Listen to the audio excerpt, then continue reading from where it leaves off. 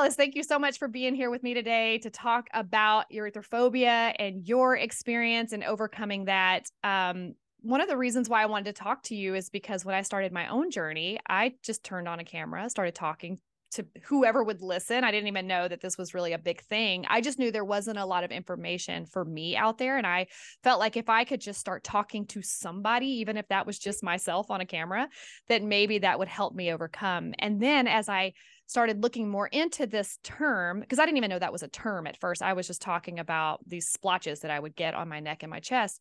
And then I found the term erythrophobia. And then I found your videos that you had out there, which had quite some traction on there. I mean, I uh, one of them I looked at today has 457,000 views, and then you have 127,000 oh views. Then you have 54,000 views and a 39,000 views, which seems like small compared to your 457,000. But it's really showing that there is an interest in this topic. People are silently suffering with this and don't know that there's information out there. Um, so I wanted to talk to you a little bit because your channel was not actually about overcoming erythrophobia. What was your YouTube channel created for and about originally? Yeah, so well, first of all, I just want to say like thank you so much for having me and thank you so much for the amazing work that you're doing. I think that the work that you're doing is saving lives. Um, um, yeah, so I originally started my YouTube channel um, because I was going through recovery and um, at the time, or eating disorder recovery, I should clarify. Um, and at the time when I was going through recovery, um, I I was looking for people who like had the same struggles in recovery that I did, um, and I just could not find anyone out there that was talking about the same things that I was dealing with in recovery. And so when I finally um, when I finally got to a stable place in my recovery, I just like I felt obligated to share my experience because I don't know, just in case someone else had the same struggles that I did. Um, because yeah, when I was going through recovery, I felt like I was searching through the corners of the internet, like trying to find anyone that was going through the same things that I was going through. Um, and I just could not find anyone. So I thought it would be valuable to share my own experience in case there was someone that was like me that was searching for those answers or just someone to relate to. So that was the original reason why I started my YouTube channel. Yeah. And when you did the first, when you got to the place of talking about your experience with chronic blushing, and I, I heard you say in one of the videos, you actually feel like that um, is something that may have contributed to your eating disorder as well. And, and you talked oh, a yeah. lot about like the hypervigilance of how you think about yourself mm. and you think about, and I experienced so much of that and hearing your, your story about how you um, re- so you had a blushing episode and you where you fell mm-hmm. right you fell in front of the cl- oh, yeah. class or something and somebody yeah. was like oh look at your face but that wasn't really your tipping point it was the yeah. next year i think right no that's right yeah so um when like the first um the first time that i blushed and felt like embarrassed i think yeah the first time was in grade six but for some reason that was like more minor like that didn't really like stick with me. The the time that like really started this like long dark path of suffering from erythrophobia was in grade seven. Um, i gave a presentation in health class and i remember sitting back down at my seat and the girl behind me saying oh my gosh alice your face is so red. And like i had no idea that um, like my face even had the ability to turn like super red. And so that was kind of like the first time where i realized that my face did have the ability to turn super red. And in that moment like i felt so much shame and embarrassment. Um, so that was like sort of the the first point that like started it all. yeah. And then it's like this hyper hyper vigilance thing after that. I know I think at one point you talked yeah. about like you even think about what you say, you think about like yeah. everything that's reflecting back to you and I and it's almost like an over sensitivity to yourself and that's oh, very yeah. similar to what happened for me is that I remember one day I mine mine happened um, in the environment of being in corporate America, and that for mm-hmm. me is just like climbing that ladder, being in that public presence. I never had an issue being public with anybody, and even being younger, I loved like presentations, and I used to sing, and I would get up in front of people all the time but it's once I, I went into corporate at 18 really young and that environment of judgment and that if you mm-hmm. perform and look a certain way you get these these greater benefits because of that and having narcissistic bosses that are, this authoritative power over you. And i i flushed in front mm-hmm. of a boss one time and he he oh my gosh are you okay? Like mine is neck and chest so it looks like an allergic reaction. And um he's like you're super splotchy. And i remember looking down and feeling so small because my ability to look confident was gone in that moment. And then mm-hmm. every time he would see me, he could trigger it. And so he would make it happen over and over again. And that's really when it started for me around like 2017 um, or so. But it, uh, the same thing. I remember being in conversation and all of a sudden it's like I couldn't talk appropriate. Like I'm like, why can't I use my words anymore? And I couldn't, I was so aware of myself. I was aware of, I, I was holding my breath a lot of times and i'm mm-hmm. like i'm holding my breath. Um and so that was your trigger was in school that moment. And then um you let's see here you you talked about how this became so debilitating that you would talk to your parents about it. That you did share mm-hmm. with your parents about? Yeah yeah.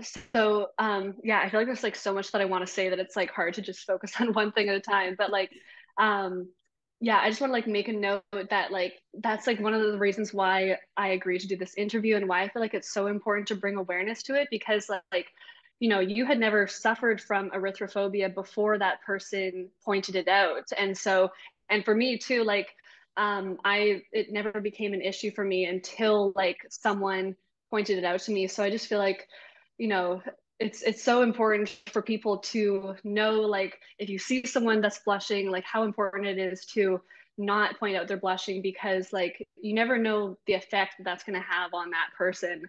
Um but yeah and then um just going back to like the yeah being like super self-conscious and like hyper vigilant and like paying attention to everything that you're doing and saying i feel like blushing like my erythrophobia was sort of like the start of that. So um, because it made me feel so self-conscious um, and like just humiliated, vulnerable, uh, just so embarrassed. And so, um, yeah, it made me like so hyper aware of like everything that my body was doing.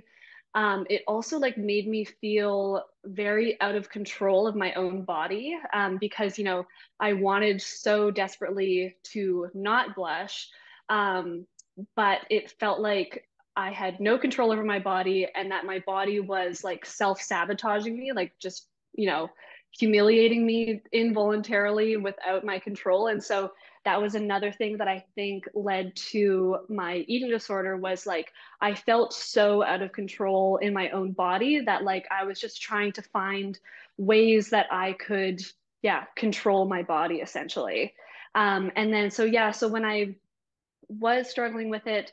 I, yeah, I did talk to my parents. I talked to my friends. I went to go see, get professional help. Um, but when I was struggling with it, um, I mean, I still to this day, like, not many people know what erythrophobia is. They don't realize that this is something, they have no idea that, that this is something that people struggle with. And so, um, unfortunately, like, when I went to, like, tell my friends about it or tell my parents about it, they just, they just really did not understand the issue. And so um, it unfortunately just led me to like feeling even more alone even more weird. I genuinely thought that i was like the only person that had this issue because i never saw anybody else that blushed. And um, everyone that I, I, talked to about it just had no idea what i was talking about.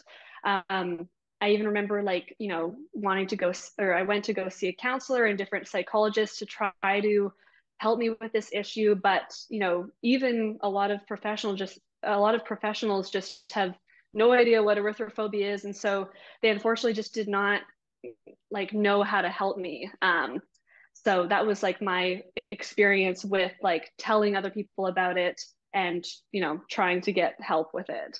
Yeah. So. And and I I realized too, like you said, it I talked to a couple of friends about it once I started. So YouTube is what really helped me start being mm-hmm. vocal.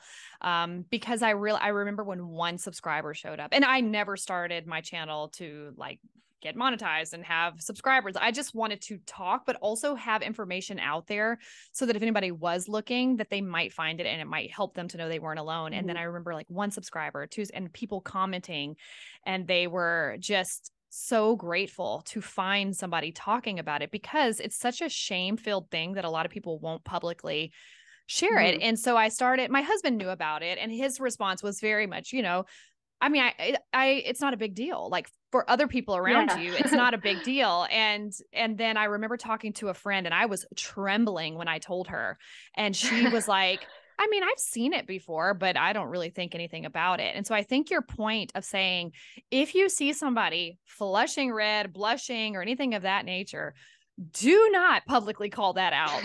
you know, yeah. that is um, that is a it really it, uh, any story I've ever heard. There was a moment, and it is usually because somebody publicly humiliated them in that moment, whether they meant to or not, by saying, yeah. Look at how red you are. And a big mm-hmm. thing for me, especially with like splotches up my neck and chest, is uh it is genuine concern for me they think i'm having an allergic reaction and that's yeah, exactly it's like that so even if you are genuinely concerned about someone and you think maybe they're having an allergic reaction maybe just pull them to the side and ask them i mean it still might yeah. be a moment that could trigger somebody but it's also if you truly think somebody's like gonna die in front of mm-hmm. you and go into like uh anaphylactic shock which is what what it, with mine it's been adults and so adults are usually not teasing they are besides mm-hmm. that the boss who triggered it it uh, adults are actually genuinely concerned that something is going on with you and so even now like i, yeah. I still will flush now i don't have erythrophobia anymore and that's why i was really curious to talk to you because you don't claim to have that you know but you talked about like you may still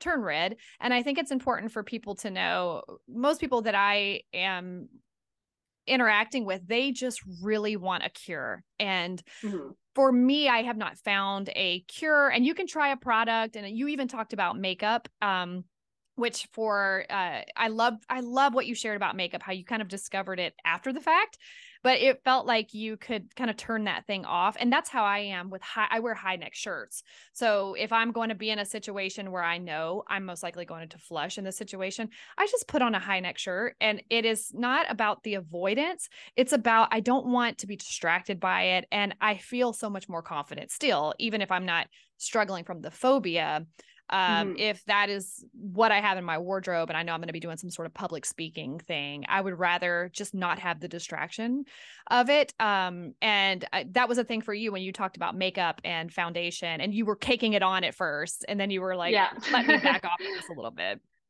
Yeah. So for me, yeah, I'm the same way in that like I have cured, I guess, erythrophobia for myself, but I still have the ability to blush. Um, but it just happens like so infrequently now because I don't have the fear of it anymore. And yeah, so for me, um, yeah, makeup was not a cure for erythrophobia for me, but it was definitely I found it to be a very like helpful stepping stone um, to get to a place where I'm no longer a fear. Uh, I'm no longer afraid of blushing. Um, so for me, I found that discovering makeup was like using training wheels when learning how to ride a bike. Um, so because it allowed me to like be in situations where I normally would blush, um, but like not having to worry about the other person seeing me blush. So, um, like for example, before in high school or junior high, um, I would just like avoid any attention drawn to me. I would avoid all conversations. If I did end up in a conversation with somebody, I would talk really fast and I would do everything I could to like end the conversation as quickly as possible um, so that I could like run away and hide. um, and so blushing, or sorry, um, makeup just allowed me to practice being able to be like in conversations with people and not having to worry about blushing because I knew that if I were to blush, they wouldn't be able to see it anyway. So it was really important in like, it, it helped me to start rewire, to start like rewire my brain. Um, because like before it was like if I was in this situation where that was like a trigger for blushing, I would just immediately immediately blush. Um, so anyways, yeah, it definitely wasn't a cure for me, but it was like a great um, a great stepping stone for me um, in the journey of overcoming erythrophobia. So yeah, I love that yeah. as training wheels because that's that's the same yeah. thing. Like there, I have a video called "How Avoidance Behaviors Helped Me" because a lot of times from the therapy side of things, they're like, "It's an avoidance, it's an avoidance." And I'm like, but I needed those avoidance behaviors to no, get exactly. me to where I was going. It, exactly. Yeah, there's a lot yeah. of different products and things that I've tried because I was mm-hmm. looking for give me something that's going to take it away. Uh, the one thing that did work for me is propranolol, which is a, be- a beta blocker, but I didn't want to be on oh, a med- okay. medication full time, so mm-hmm. a doctor prescribed that as needed, and um, yeah. and it it definitely helped. I've heard a lot of good things about propranolol for people, but it's still not something I wanted to lean on every single yeah. time, and I haven't used it since 2021. Um, yeah, yeah. Sometimes, like when you're like, if you're um, if erythrophobia is really affecting your everyday life, and um, like you're just so exhausted from basically being in the fight or flight response every day, sometimes you just need like some sort of immediate relief. So um, they're not necessarily going to be long term fixes, but for example, like for me, um, another thing that was really beneficial for me was um, like temporarily removing myself from the situation that was really triggering my erythrophobia. So for me, um, like, and these things are definitely not things that you want to do in my opinion in the long term um, because like you don't want to like try to run away from your blushing forever but like sometimes if you're just in a place where like you're just exhausted and um, erythrophobia is really affecting you. Like sometimes those things like makeup or like for you the medication or um, one thing i did was i i homeschooled for one year in high school um, which was just really great uh, to have like that break on my body um, to have like yeah just giving my body a chance to like feel safe again for a period of time and just calming my nervous system um, um yeah so these like things definitely aren't like they're probably not like long-term solutions. They aren't like the cure to erythrophobia but yeah sometimes having these like quick fixes are just really important for your well-being. Um so yeah. Yeah. And and I think what you're saying about environment, I took a note about this from one of your videos where you talked about how you homeschooled and that mm-hmm. just not being in those lights and not being around yeah. the people and how you were able to really regain a lot of your confidence because you were out of mm-hmm. the environment that was triggering. There is yeah. a, a, a woman, her name is Dr. Madeline DeHock. She did a TEDx talk. I actually interviewed her not too long ago on the channel. Um, she did a TEDx talk this year on how she overcame blushing and uh, by using her voice by learning to speak up and say the things that she needed to say and a lot of what her message is about and she's in her 50s like she we had a great conversation about how just how this process went for her and that she will still turn red but what she overcame was the fear of it and what she realized was how important environment was and being able to really feel safe in your environment and i think hearing your story about school and a lot of people who go through that it's traumatizing in school. And for me it was in the corporate realm. And i have worked from from home uh, since june well I, I had a baby so i went on maternity leave but i've been home but i still work a corporate job. But i've been home uh, for for about two years now. And my body is for the first mm-hmm. time relaxing. I don't flush nearly as much. Um, I can be in more social situations that aren't triggering me because I'm not mm-hmm. in that corporate realm. And even being on Zoom calls with my boss, who it took about a year for me to stop flushing when we were on a call mm-hmm. together, he has really proven to be such a safe and stable person that the environment, the working from home and having the safety of that authoritative person that that can say whether I'm going to have a job or not um, has become so much of a safety like play a safe place for me that it it is rewiring and rewriting that. So when you talked about go being homeschooled, being out of the environment that was triggering to you, and you also talked about getting a job that actually forced you into like the public eye, customer service, having to talk yeah. to people. but you've shared something I, I found very interesting, and and you it, feel free to jump in here and just say whatever you want to say after after I close uh, close this part of the question out. But you talked about how you you were kind of scripted on what you had to say. And so that actually helped you because you were having to think so much about what you were going to say that you didn't have enough time to think about you. Is that right? Exactly. Yeah. Yeah. What I what I learned was that um because when I when I was really struggling with erythrophobia, like um if I was in a conversation with somebody, like um it was always when they were talking that I would blush um, because it was almost like I had more time to like overthink things and start worrying about blushing. But what I found was that when I like when I was actually talking and like focusing on what I was saying, um, I would forget about my fear of blushing. I would forget about like the fact that I was worried about blushing. Um, so yeah, I because before like when I was really struggling with it, I um, I like would avoid talking at all costs. Like I would always want like the other person to be talking so that they were like the focus of attention. But what I learned is that yeah, when I actually spoke up and used my own voice, um, yeah, that actually I found um, allowed me to forget about being afraid of blushing. Um, and yeah, so now I'm forgetting your original question. I'm sorry. I it was okay. I talked in abstract. I talked about you being kind of oh, forced okay, yeah. in the public eye and also yeah. um get, first of all getting out of the environment that was triggering it. You went back into yeah. that and it triggered it first. No, exactly. But you you talked about posture and holding your oh, shoulders oh, yes. back and not, you know, folding into yourself. Yeah, I felt like there was there was so much that like went into like helping me to overcome erythrophobia. So um so yeah, like number 1 was you know, allowing myself to have a break from the environment that was triggering me, um, but also continuing to challenge myself and push myself outside of my comfort zone. So, um, yeah, I got a job um, in the restaurant industry, you know, where you're interacting with customers every single day. And that was like my worst nightmare.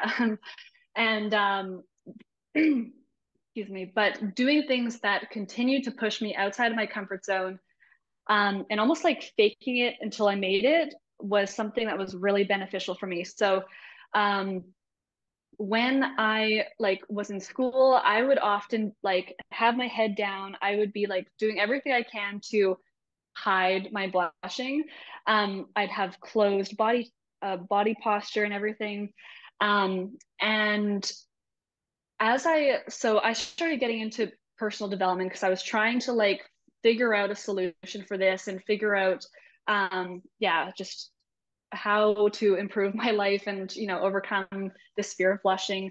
And uh, one of the things that i learned was that um like just the the importance of having like a confident body posture like body language. So even if i just felt like so scared not confident whatsoever i would almost like be able to trick my brain into thinking that I was confident when like maybe I wasn't at all. So even if I really wanted to like put my head down, I wanted to like, I don't know, cross my arms or something, I would um, force myself to like have good posture, head up, um, and like have the body have the body posture or the body language of someone that is confident um, which like almost like tricked my brain into thinking that I really was confident. so that was another thing that helped me with my blushing was um yeah, pushing myself outside of my comfort zone and faking it until I made it basically.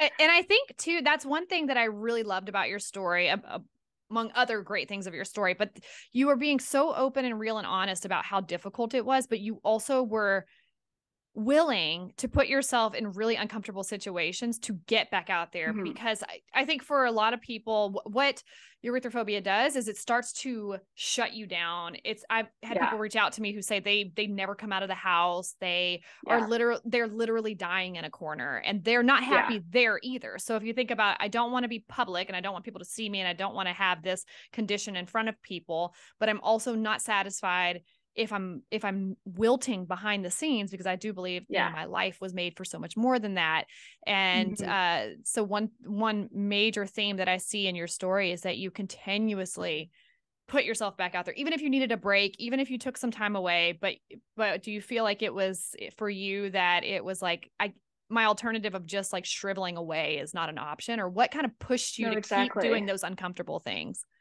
yeah so it certainly wasn't always like that for me like um for several years i was in a really really dark place um mentally and i was you know completely isolating myself. Um uh, like you know i was just so afraid to basically leave the house. I did not want to go to school. I like wouldn't talk to like literally anyone except for my family and like closest friend.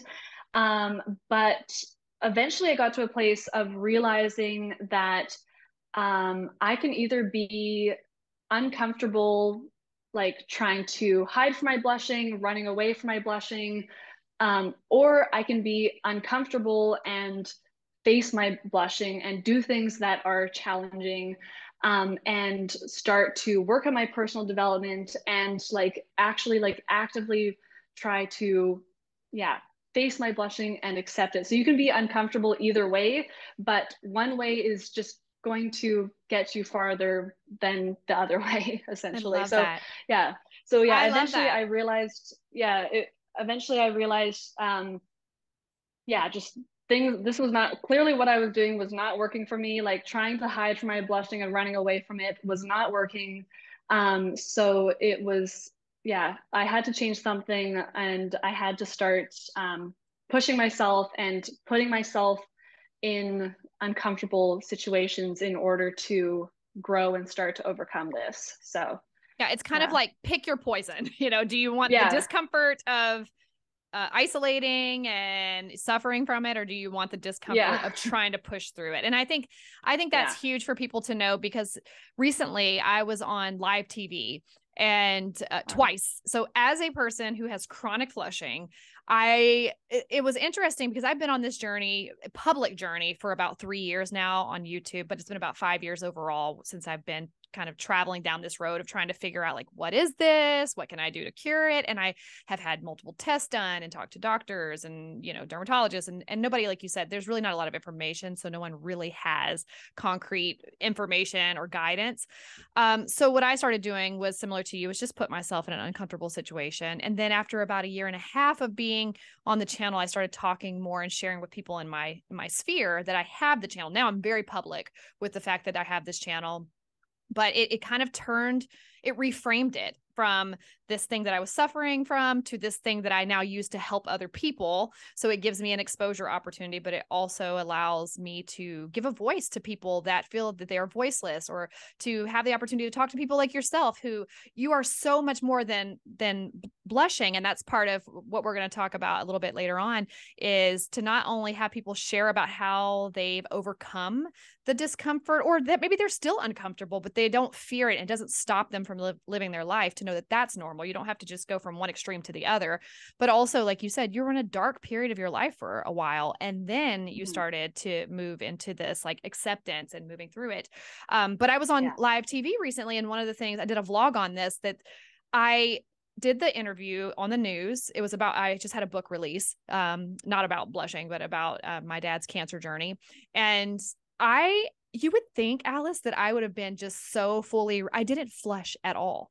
And I told wow. um I did an interview with this guy named Hank Thurman um recently and I told to him I said I actually felt so alive and he and I, i'm thinking because this is my thing you know this is what i was made for and he made a very interesting comment he said i wonder if it's because you were actually fully present because when you're in an interview and you don't know what's about to be asked of you and you're on live TV and the pressure's there and you have like 4 minutes you can't be anywhere else but right there in that moment.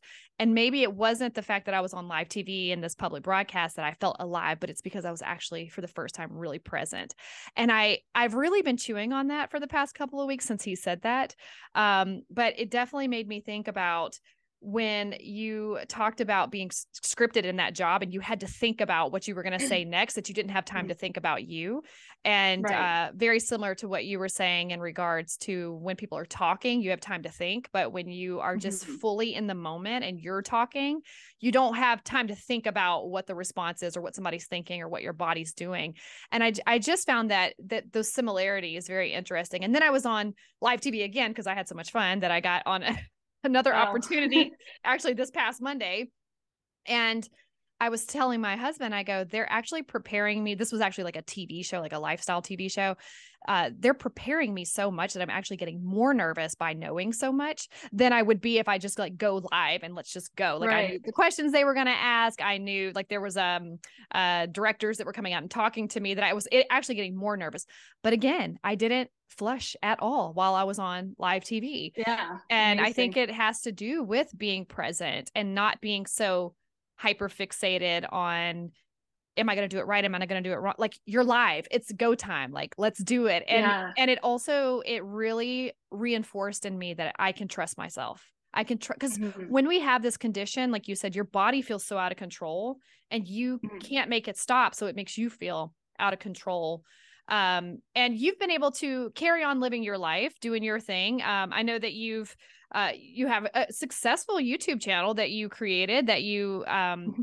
definitely got some some um, some good feedback there from people in regards to sharing about your story. What do you think is the most impactful thing for you after sharing your story about erythrophobia or your eating disorder or anything that just from the response around you that was really surprising to you Oh, I feel like there's so many things, but I would say like the uh, well, the thing that comes to mind right now that had a really big impact on me was just realizing how many people had the exact same struggles that I had. Um, before I posted about my, like either my eating disorder or about erythrophobia, like I genuinely thought that I was the only person um, that had these struggles. Like even before I made my erythrophobia video, I don't even remember what originally motivated me to like make that first video on erythrophobia, but I was like genuinely so so shocked by like the response of that video because before I posted that video,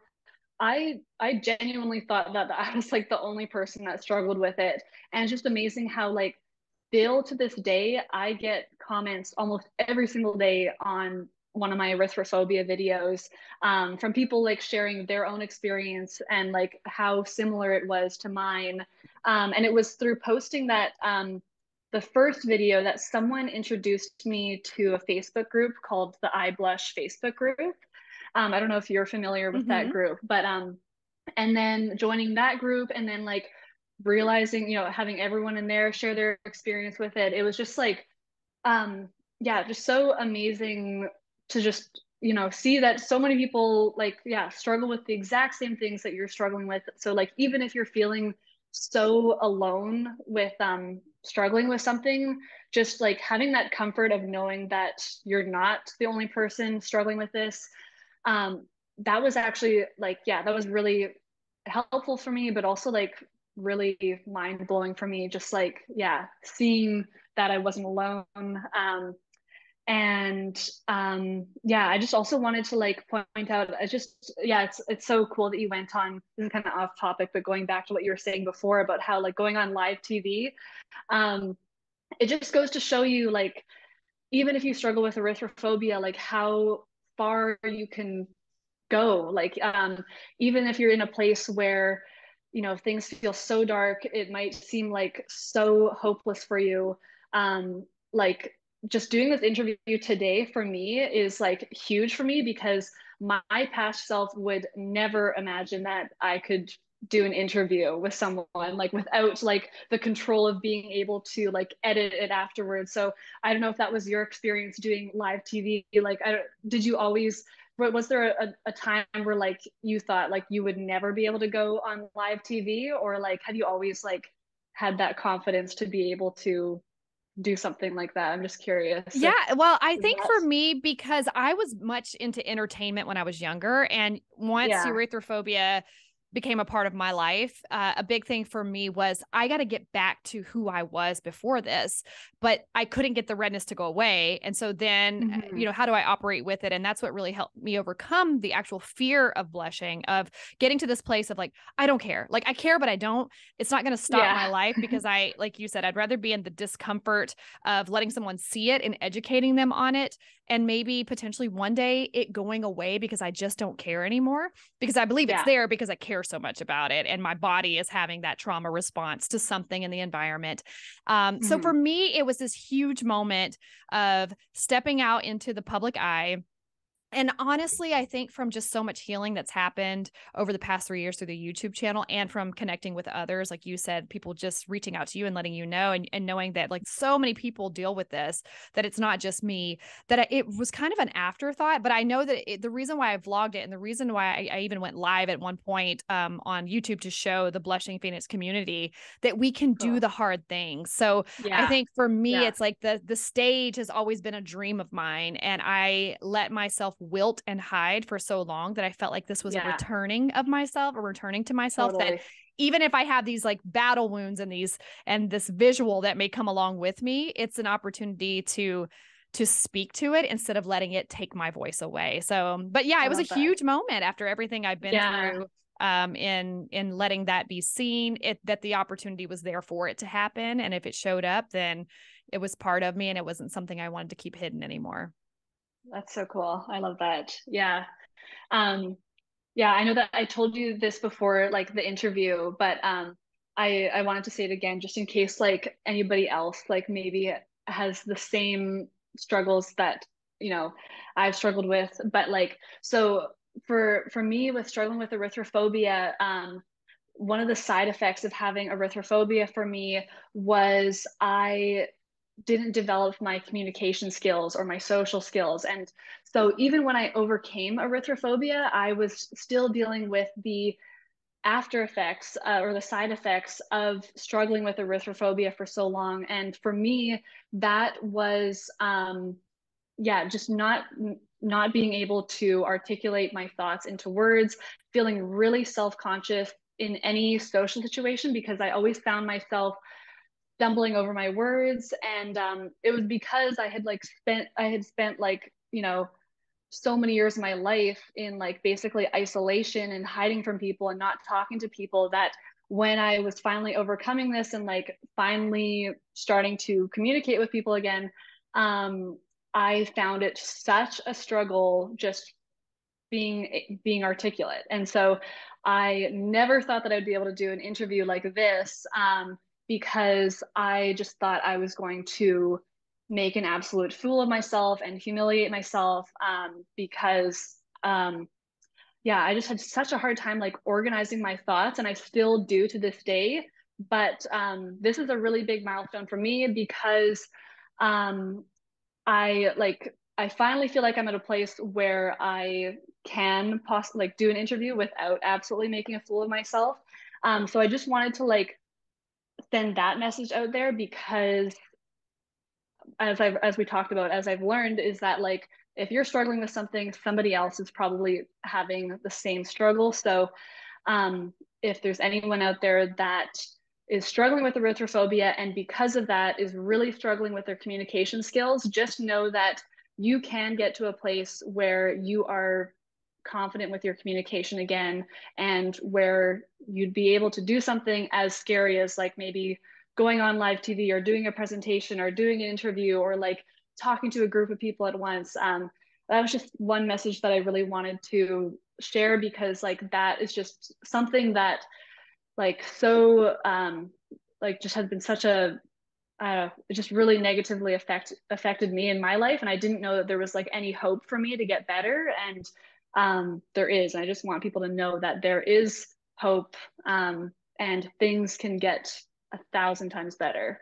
And you're proof of that by showing up here. How do you feel now that you're like in the thick of the interview? Like, do you, how are you no, feeling about everything? It's great. yeah, it's like terrifying, but it's also like almost exhilarating. It's so exciting. Yeah, and it's and, like you um, said, it's yeah. like a it's the growth opportunity too, especially the thing that maybe you're like, oh, I don't know, because even you talking about like being able to organize your thought, I'm like, you are so concise to me. Like you are so clear. Oh, you speak so well that if you weren't sharing wow. that, I would have never known you were struggling to to so... to be to get in this situation because of that fear. Yeah, that's amazing to hear you say that because I yeah, I never thought that I would be sitting here and I never uh, it's just such a big compliment for me if someone tells me that I'm articulate because like that's something that I'm so self-conscious of or, or that I was like so self-conscious of and yeah so thank you for saying that i appreciate it.